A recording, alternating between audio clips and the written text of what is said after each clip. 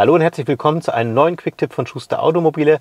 Heute dreht sich alles um das Thema Grace Note Datenbank. Einige von euch werden das vielleicht schon in ihrem Mazda gelesen haben. Einigen von euch sagt das vielleicht gar nichts. Deswegen fangen wir gleich mal ganz am Anfang an und ich zeige euch, wie ihr den Begriff überhaupt in eurem System findet. Wir schauen mal kurz hier in unser Mazda Connect System. Ich gehe hier in die Menüpunkt oder in den Menüpunkt Einstellungen rein und dann hier bei diesem Fahrzeug ganz unten in die Systemeinstellungen. Hier findet ihr dann schon den Begriff, nennt sich Grace Note Datenbank oder Database sagt man hier in Englisch ähm, Aktualisierung und hier könnt ihr noch einen Haken setzen, wenn ihr das sogenannte Albumbild verwenden wollt. Ganz kurz an der Stelle erklärt, was ist das eigentlich Grace Note? Mir selber sagte der Begriff am Anfang auch nichts. Das ist eine Art Dienstleister, Datenbankdienstleister, der sammelt verschiedenste Informationen zu sämtlichen Musikalben, die so auf dem Markt sind. Und dieser Dienstleister arbeitet eben auch hier für Mazda, damit ihr ein besseres Benutzererlebnis im Fahrzeug habt. Es versorgt euch zum einen mal mit Albumbildern, das heißt, wenn ihr also ein Musikstück abspielt, zum Beispiel eine MP3-Datei vom USB-Stick oder über Bluetooth, dann würdet ihr sozusagen hier im Display auch ein schönes Albumbild sehen. Und zusätzlich wird auch die entsprechende Sprachbedienung des Fahrzeuges trainiert auf diese äh, Musikstücke, denn normalerweise kann in Deutschland eben die deutsche Sprachbedienung nur deutsche Worte aussprechen und auch empfangen. Und wenn ihr jetzt eben einen englischen Titel hättet, dann würde das nicht funktionieren. Mit der GraceNote Datenbank wird das dann allerdings möglich. Und ich habe euch auch ein bisschen was vorbereitet, damit wir mal so ein bisschen sehen können, was da eigentlich passiert. Und ich habe jetzt hier ganz bewusst mal den Haken rausgenommen, dass wir eben nicht äh, das Albumbild von dieser Datenbank nehmen. Und ich gehe jetzt mal in den Musikplayer rein. Ich habe jetzt hier mal ein Musikstück rausgesucht und bei diesem Musikstück ist jetzt folgendes von mir ähm, passiert. Ich habe das Albumbild manipuliert. Ich hätte es jetzt also auch rausnehmen können oder es hätte auch normalerweise gar keins drin sein sollen, denn das macht die Datei auch ein bisschen größer. Ich habe jetzt hier einfach mal bei dem relativ bekannten Interpreten einfach unser Logo integriert. Und ich könnte jetzt zum Beispiel hier eben weiterblättern.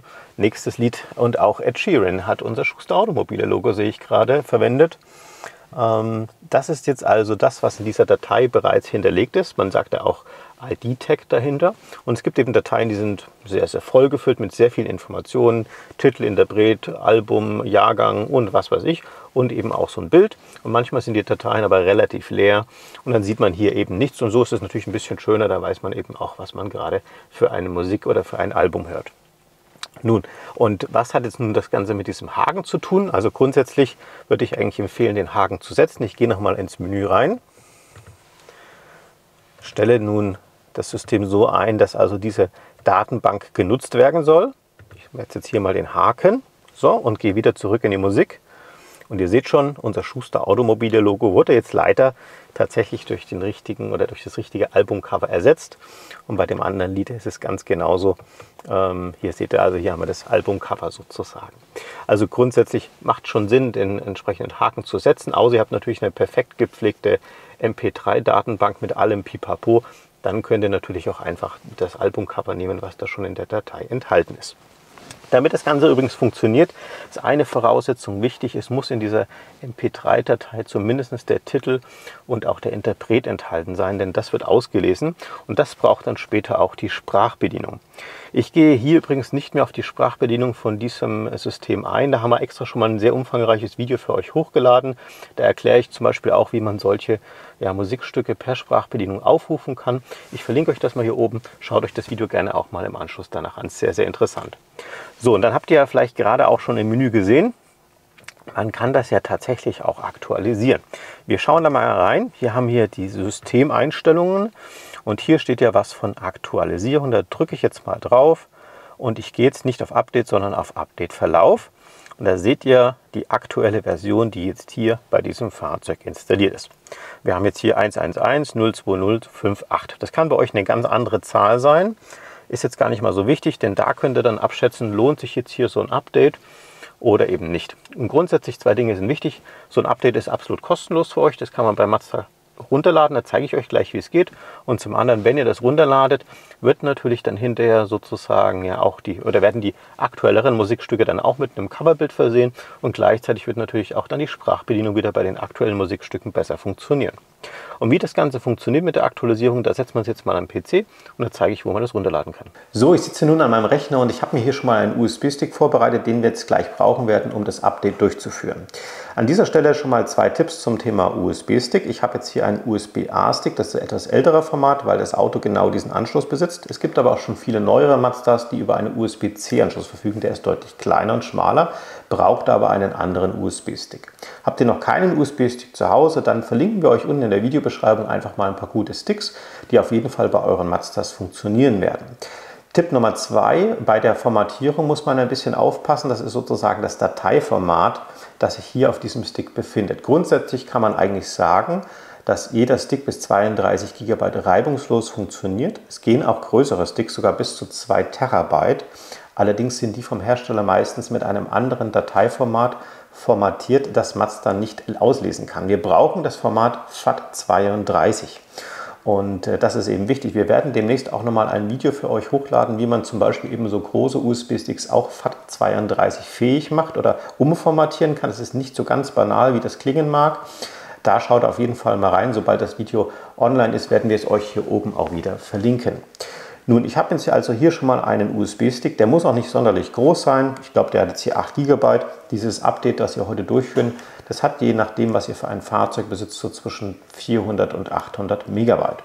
Apropos welches Fahrzeug ihr besitzt, es gibt ja im Moment zwei verschiedene Mazda Connect Systeme parallel nebeneinander. Einmal das etwas ältere System, das eine horizontale, bogenförmige Menüebene hat, relativ leicht zu erkennen mit diesem roten Schweif. Ich blende euch auch nochmal ein Bild sicherheitshalber ein und dann die etwas neueren Systeme mit den breiten Displays, die eine vertikale Menüführung haben. Von den Namensgebungen sind sie sehr ähnlich, auch von der Struktur, aber das ist eben auch ein komplett anderes System dahinter. Und für beide von diesen Systemen kann man diese Datenbank aktualisieren.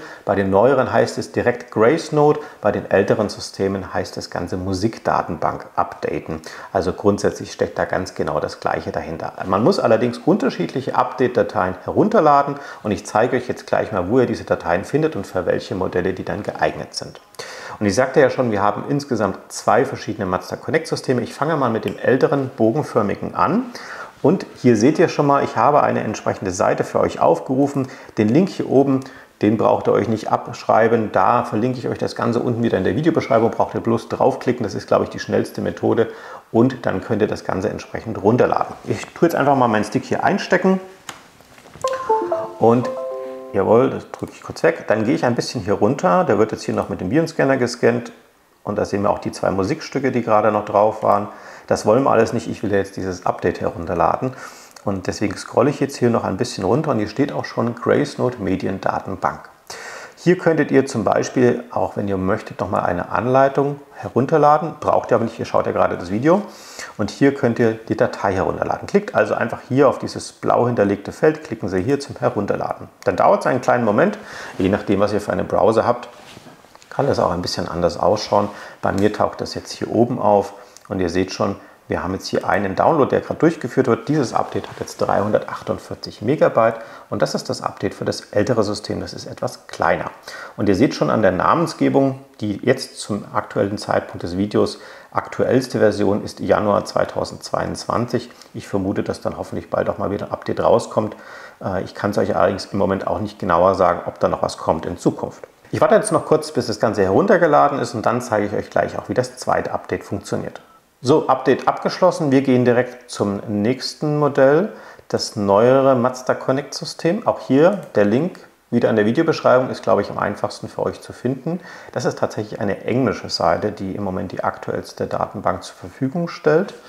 Und wir gehen hier mal noch ein ganzes Stückchen runter. Hier kommt was ähnliches, wird ein bisschen das Ganze beschrieben, wie das abläuft. Und etwas tiefer habt ihr hier die Möglichkeit, auch die verschiedenen Regionen für diese GraceNote-Datenbank auszuwählen und herunterzuladen. Wir brauchen natürlich nicht Hongkong und nicht USA, wir brauchen Europa, also Region 1. Und da relativ einfach zu finden, muss man nur auf Download drücken. Passiert ganz genau das gleiche. Ihr seht schon bei mir hier oben das Download-Feld. Wir haben hier jetzt bei dieser Datenbank die Version 2570, also schon ein ganzes Stückchen jünger, als das wir gerade beim Auto ausgelesen haben. Größe ca. 900 Megabyte, das dauert jetzt ein bisschen länger. Auch hier werde ich kurz ab, bis es fertig ist. So, der Download ist nun abgeschlossen. Jetzt müssen wir natürlich die Datei noch auf den USB-Stick kopieren. Und das funktioniert wie folgt. Ihr geht hier auf den entsprechenden Datei-Explorer. Das Ganze befindet sich jetzt normalerweise unter dem Menüpunkt Downloads. Wir haben jetzt beide Dateien. Ich zeige euch übrigens in diesem Video natürlich auch beide Updates. Habt ihr nur eins von den beiden Systemen, ladet ihr bitte natürlich nur eins davon herunter. Ich möchte euch aber eben zeigen, wie bei beiden Autos das Ganze funktioniert. Es ist auch überhaupt kein Thema, beide Dateien auf einem USB-Stick zu besitzen. Äh, das würde sich jetzt überhaupt nicht behaken. Zum Beispiel, wenn ihr wirklich zwei verschiedene Modelle zu Hause habt, dann könnt ihr das einfach auf einen USB-Stick tun und gleich in einem Aufwasch nacheinander das Ganze abdecken. Das mache ich jetzt mal. Ich kopiere mir jetzt diese Dateien mit Kopieren und füge es in meinen USB-Stick wieder ein. Da sind auch meine zwei Musikstücke noch drauf. Das dauert jetzt wieder einen kleinen Moment. Ich warte das noch kurz ab und dann treffen wir uns gleich wieder im Fahrzeug. Da sind wir wieder zurück im Fahrzeug. Ich habe bereits den USB-Stick reingesteckt. Das ist auch vollkommen egal, welchen USB-Anschluss ihr verwendet. Gehen beide Anschlüsse beim Mazda und wir gehen wieder in das Menü Einstellungen. Hier dann wieder an den Menüpunkt Systemeinstellungen, wo wir uns schon vorhin befunden haben und hier dann bitte auf GraceNote Database Aktualisierung. Und jetzt tatsächlich nutzen wir den Menüpunkt Update.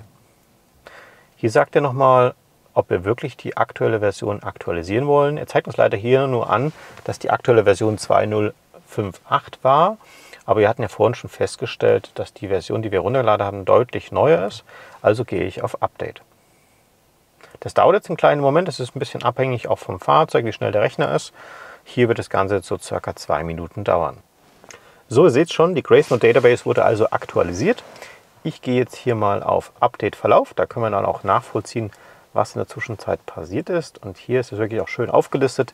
Der ursprüngliche Datenstand, nun der neue Datenstand, doch schon ein ganz ordentlicher Sprung. Und ich muss sogar dazu sagen, dieses Auto ist sogar von 2023, also kein älteres Fahrzeug. Es hat sich also jetzt hier richtig gelohnt, dieses Update auch mal durchzuführen. So, das war es eigentlich schon vom Update bei dem neueren System. Ich zeige euch das Ganze jetzt aber auch nochmal bei dem etwas älteren System. Da funktioniert das ganz genauso einfach. Ihr seht, das ist also ein Fahrzeug mit dem älteren System. Ich stecke wie vorhin auch den USB-Stick in den Slot. Und dann gehe ich jetzt hier bei diesem System auf das Zahnrad, die Einstellungen. Genau das gleiche eigentlich. Und hier haben wir verschiedene Menüpunkte hier oben. Und um hier rüber zu kommen, kann ich jetzt entweder mit dem Finger auf die Pfeiltaste hier drücken oder aber ich kann auch mit dem Joystick backern. Das funktioniert ganz genauso. Vielleicht kennt ihr das auch noch nicht. Das heißt, hier einfach den Joystick nach rechts drücken und dann springe ich eine Registerkarte weiter nach rechts. Ich weiß nicht, ob du es gerade noch mit auffangen kannst. Und hier haben wir ebenfalls einen Menüpunkt, der nennt sich System. Und hier heißt es eben nicht Grace Note, sondern einfach nur Musikdatenbank Update. Da drückt er einfach drauf, dann sagt er, er möchte gerne den USB-Stick prüfen. Das soll er natürlich suchen oder tun. Und hier, das finde ich sogar tatsächlich ein bisschen besser, zeigt er einem an, was die aktuelle Version ist und was auf dem USB-Stick drauf wäre. Und äh, hier seht ihr schon, wir haben beides mal die gleiche Version. Das liegt jetzt hier in diesem Fall daran, dass wir wieder in einem 2023er Fahrzeug sitzen. Allerdings die Datei, die ich heruntergeladen hatte, von 2022 stammte. Das heißt, hier wird es jetzt keinen Sinn machen, natürlich das Update durchzuführen. Wir können es aber trotzdem mal simulieren. Ihr geht jetzt hier unten dann einfach auf Aktualisieren. Das heißt, wenn hier eine neuere Version steht als die oben und dann würdet ihr einfach hier auf Enter drücken, dann fragt er nochmal nach, wollen Sie wirklich die aktuelle Version überschreiben? Ja, das wollen wir und wir gehen auf Installieren. Und dann habt ihr auch wieder so einen Balken. Beim älteren System dauert es ein bisschen länger, obwohl die Datei kleiner ist. Hier ist die Erfahrung, dass es so circa fünf Minuten dauert. An dieser Stelle noch den Hinweis, das Fahrzeug bitte jetzt nicht erneut starten. Das heißt, bitte nicht ausmachen oder irgendwie nochmal komplett starten. Das Fahrzeug einfach so sein lassen, bis es fertig ist damit das Update hier nicht abgebrochen wird oder vielleicht fehlerhaft ist. Mit dieser Anleitung könnt ihr also nun ganz einfach von daheim aus eure GraceNote-Datenbank aktualisieren und immer wieder auch auf den neuesten Stand behalten, damit auch die Sprachbedienung besser funktioniert und gleichzeitig auch immer die aktuellsten Albumcover angezeigt werden. Wenn euch dieses Video gefallen hat, lasst uns gerne auch einen Daumen nach oben da, das freut uns natürlich immer sehr. Habt ihr noch irgendwelche Fragen zu dem Thema, wie immer, packt das in die Kommentare rein und denkt dran, unseren Kanal zu abonnieren. Das ist absolut kostenlos für euch und wenn ihr keine Videos mehr verpassen wollt, müsst ihr noch die Glocke drücken. Ansonsten danke ich wie immer fürs Zuschauen. Wir sehen uns wieder beim nächsten Video. Tschüss.